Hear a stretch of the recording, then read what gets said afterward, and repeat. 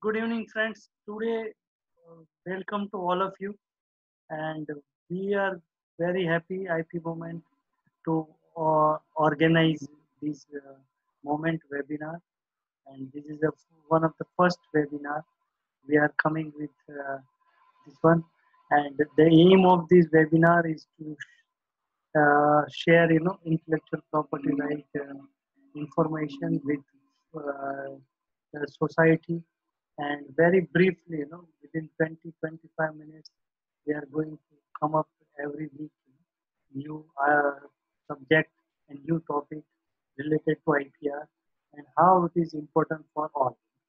So today's, you know, our topic is. Uh, let me share. Yeah. So today's our topic is. Uh, uh, importance of intellectual property rights for startups. So how and why it is important for startups to know about the intellectual property rights. To start with this one, uh, before that, what is intellectual property rights?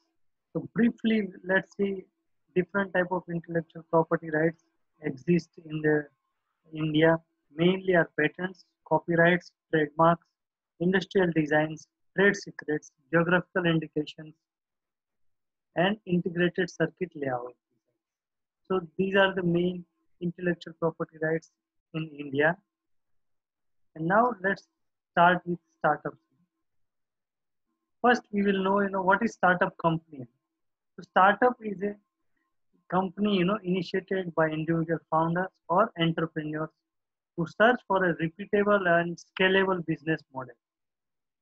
Means that either individual uh, can start or with group of individuals, you know, they can look for the new business model or scalable and repeatable business model.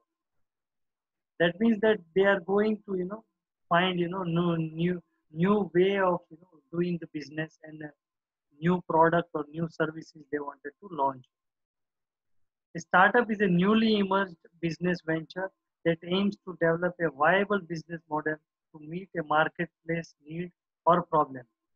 That means that whatever the problem exists in today's market, the startup is trying to you know solve those problems. So give you to give you an example, you know now in this pandemic time, you know people are looking for you know mask and uh, sanitizers and uh, PPE kits and other. So many you, you might have seen, you know, many startups and individual inno- innovators, inventors, they come up with an idea to develop, you know, new solutions like they have developed sanitization, uh, uh, tunnel, etc., and new kind of mask, new kind of new sanitizers, and how the sanitizers can be delivered. So those things they have invented, you know. So these startups company, you know, they're always looking for, you know, marketplace, whatever the existing problems are there or whatever needs are there. So founders design startups to effectively develop and validate scalable business. So that is also one of the important parts. You know?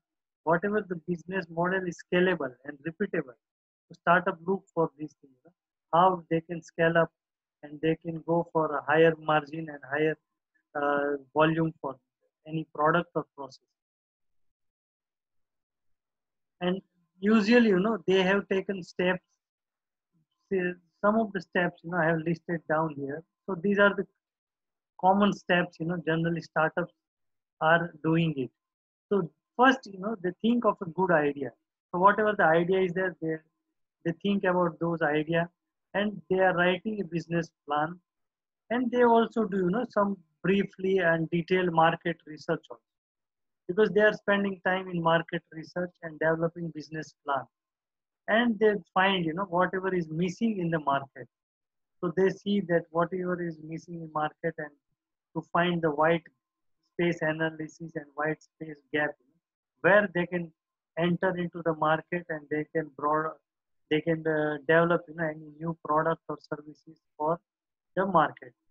So generally you know immediately they go and choose a name for startup and they make you know kind of model or kind of prototypes and they try to you know have the prototypes and uh, you can say that uh, beta versions of the uh, services or products they have it.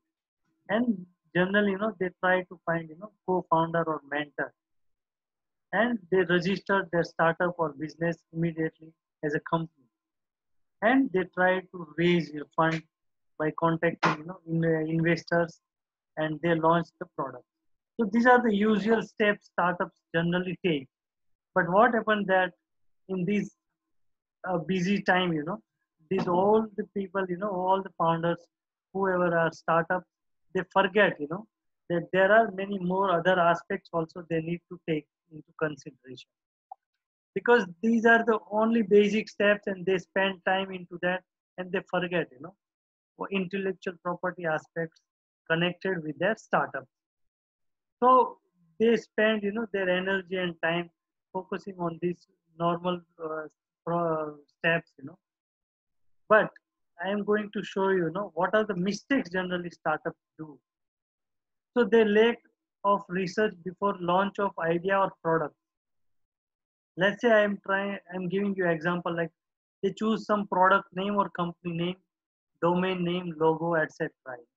So what happens that when they choose any product name or company name, they end up, you know, choosing the whatever is existing, or they may try to, you know, little bit tweak around the words uh, in the and they find, you know, product name or company name.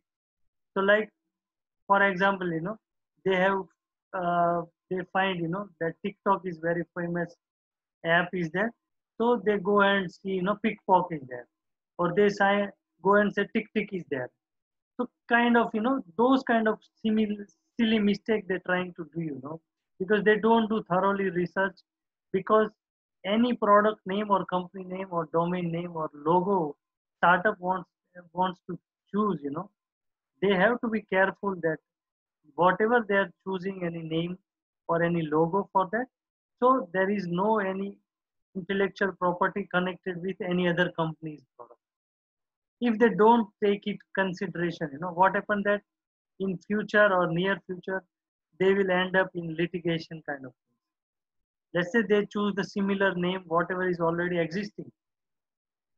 Then what happened that after launch of product and company name they will get the litigation and they will get the legal notices from the existing companies and existing uh, players in the market so they have to be careful while choosing product name or company name. Like domain name is also important. Like domain name is there. So some people, you know, they wanted to see uh, similar domain name. Like they said Google is there, so they say Fugal is there. But they don't know that if they choose Google like that, then Google may they may come up to the startup and they will stop their business. So one more thing is that they do they don't do you know thoroughly re uh, research before launch of products or ideas. And then is lack of secrecy before the launch. Because what happens generally you know now this is social media time is there digital marketing is there. So in this digital marketing time you know they immediately launch their product details or they launch their name etc on social platform. Because once you launch you know your product name or any details over the uh, uh, in the social media or to the public then your information is getting leaked you know. Then it's your secret is out. So whatever your startup main recipe is there or main purpose is there so main secret will come out by launching you know uh, immediately announcing at social media so startup has to be careful, you know, that whatever information they wanted to reveal to the public, they have to be careful. So that is second mistake or aware unawareness. I I would say that startup generally do. Then they failing to implement appropriate confidentiality controls.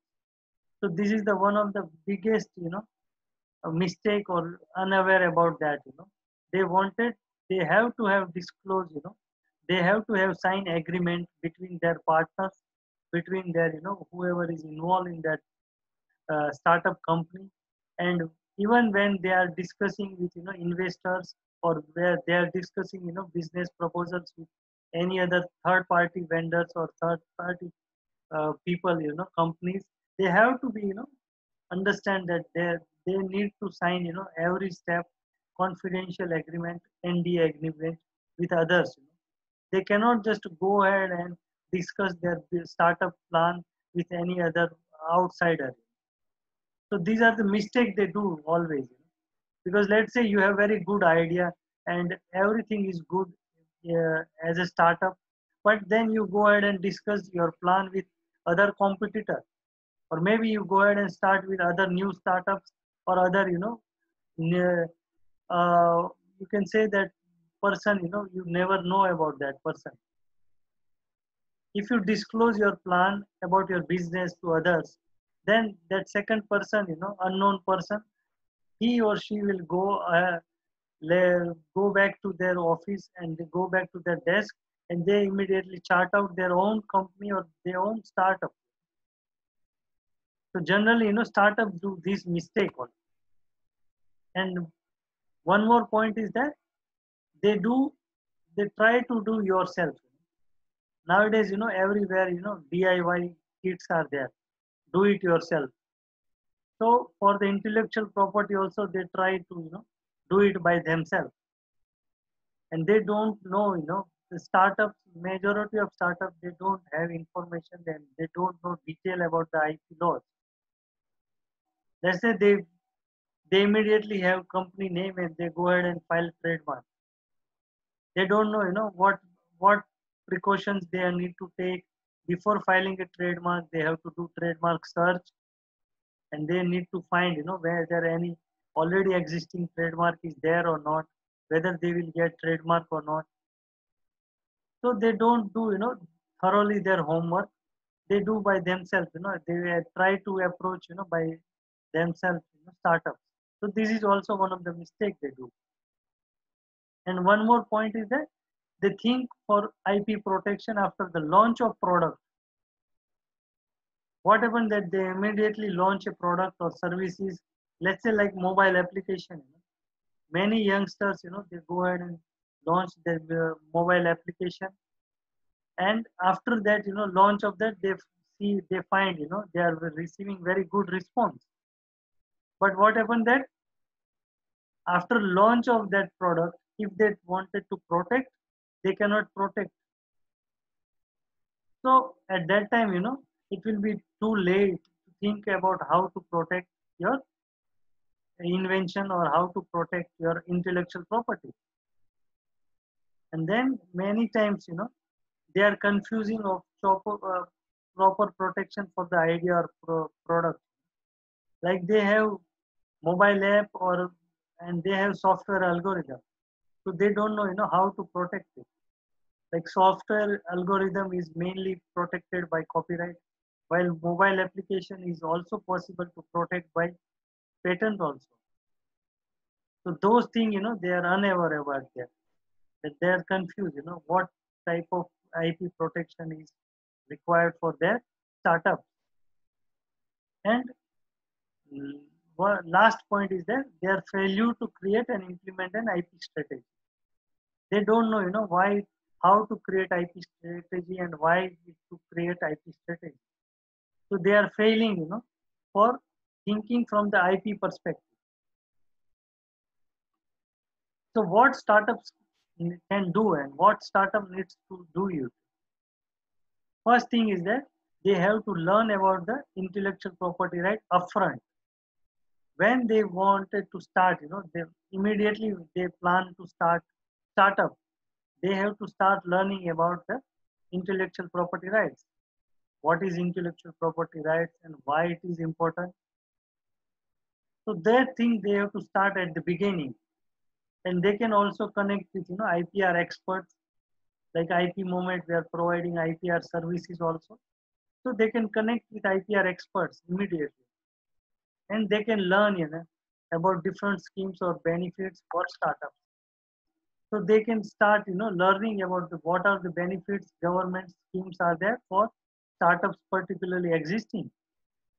And documentation is also important. So generally you know startups lacking documentation. They don't keep you know their documents properly. They are not managing their documents. So important thing is that i would advise that startup should start you know management of their documentation. So documentation part is very important. Because if you maintain your documents then in later stage you know if you want to refer back and you want to show anything or you want to do analysis of your whatever progress has done then documentation is one of the important part. And one more point is that as a startups you know you don't have to share your ideas everywhere. Because i have seen you know many time you know startups and founders and they go to the different meetings and they disclose you know their detail about their startups and their plans and whatever the usp is there in their startup let's say they are going for fundraising. So no, normally i have seen you know many startups they are going you know for fundraising meetings with investors and wherever the conference is and some other uh, uh, consortium is going on so they go and discuss their novel ideas over there. So i would advise that do not share your novel ideas everywhere. And before you know discussing your ideas or detail about your uh, startup details about your products processes or whatever you have your things do not disclose you know disclose without signing a non-disclosure agreement. If you disclose you know even i would advise if you disclose your startup detail with your friends you first tell them to you know sign a non-disclosure agreement. And non-disclosure agreement or non-competency non-disclosure agreement. So these are the main things they have to take care. And they have to think, you know, before, you know, disclosing or going to public or anywhere, they have to register, you know, their intellectual property rights. So these are the main things, you know, main aspects startup has to do for protection of their intellectual property rights. Just I am uh, giving you know some brief detail about the schemes and benefits available for startups. So like government of India, you know, they uh, have started you know startups intellectual property protection SIPP plan they have given, and these under SIPP, you know, government of India has given you know many benefits to the startups for protecting you know their patents, trademarks, copyrights, designs. Startups can get you know up to 50% government fees reduction and they can also get consultancy from the prof- professionals like us you know because government of india they have empaneled you know patent agents and trademark agents uh, where you know startups can go to them and they can discuss their intellectual property rights registration processes and those consultants they will advise them, you know, how to protect their intellectual property rights. So startup can go to, you know, intellectual property rights consultants because government has already listed down, you know, the registered, you know, patent agents and trademark agents where who can help startups for protecting their intellectual property rights. And they can speeding up, they can also guide, you know, if you are registered as a startup company under the government of India scheme, then you can also have benefits of speeding up the process of registering of IP. Let's say for the patent registration, normally it takes three to four years, but if you are a startup registered company, then it will take less than one, uh, one year. So those kind of things, you know, benefits are there. Government of India is providing for startups. So those details, you know, those benefits and schemes, I would suggest, you know, all the startups, they need to get this one. And there is angel tax benefits also there. So what is angel tax benefit is that is term used to refer to the income tax payable on capital raised by unlisted companies like startups via issue of shares where the share price is seeing excess of fair market value of the shares sold. So in general, you know, in, as a layman term, you know, angel tax is there for the investors, you know, whoever is investing money in the startups, they can claim, you know, deduction and they can claim, you know, benefits of angel tax. So those investments, you know, whatever startup receive, they don't have to pay any uh, tax on that. So these angel tax details, you know, startup must know about that. And some of the schemes, you know, government is giving tax holidays for three years. So startups can get, you know, tax holidays because startups don't have to pay taxes for three years. And startups in the manufacturing sector are exempted from adhering to the criteria of prior experience or turnover. Because startups don't have to have prior experience or turnover before starting into manufacturing. And SIDBI and National Credit Guarantee Trust for companies are there. They are also giving you know fundings to the startups. And no inspection will be required you know for the first three years regarding labor laws. So if you are startup, then you don't have to follow you know certain labor laws. You are getting you know exemptions for follow um, for meeting you know labor laws criteria. So those details and schemes and benefits startup must know before you know while they are going to launch their product or processes in the market. And why it is important. So as I discuss, you know, detail, you know, about startups and what are the mistakes they do. Now in these slides, you know, I am saying why it is important for startups. The intellectual property can be a unique selling pro proposition of the product or services and it helps to create a sustainable and defensible differentiated for the company.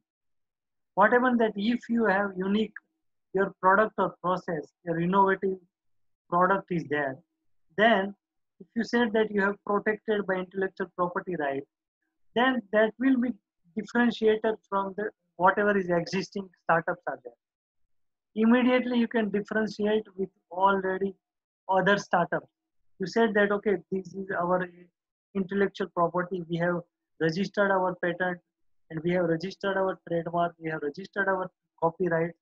So those kind of things, if you present to any other one, so this differentiator will help you, you know, to create, you know, your value ahead than other startups. So these are the unique selling point propositions are there, USP are there for your startup.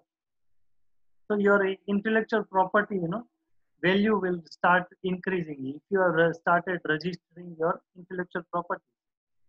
And high entry barrier for competitors.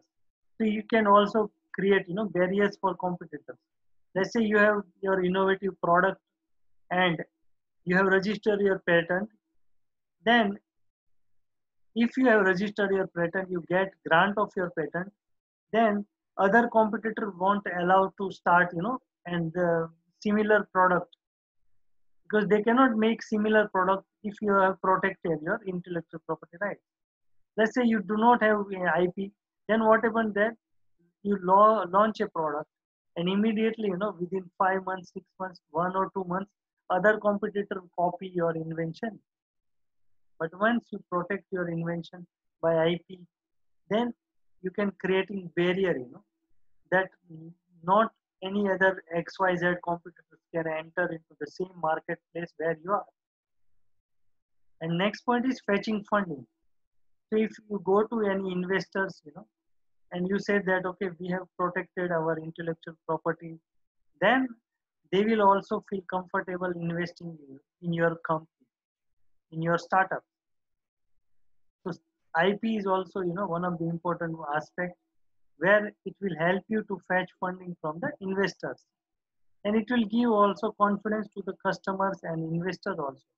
And whoever is stakeholders are there they will get confidence if you put on table you know that you, have protected your intellectual property rights. So intellectual property rights assumes even greater significance for startups technology startups where new innovations are being made every day. Let's say every day you know like if your invention is related to computer or related to software or related to you know any, any electronics products are there then what happens that it's day to day you know it's emerging field but if you have you know protected your ip then it will create a significant difference let's say you have mechanical know, any product, technology product. And if you are protected by IP, then your value of your startup will go up and you can create, you know, very uh, special market segment, segment for your startup. So today's, you know, these are the main points I have shared with you. And these are the main aspects that why I, uh, IPR is important for the startups. And these are the first one of the webinars in our series of uh, Moment webinar. And that's we are going to arrange, you know, every week on Tuesday at five o'clock. So thank you once again to all of you for attending this. And if you have any query or any suggestions, comments, please feel free to connect with me on the given you know, email address and phone number. So thank you all for attending this and look forward to have more, you know, uh, uh, discussion and more, uh, the, more uh, participation from you all. Thank you. Have a wonderful day ahead.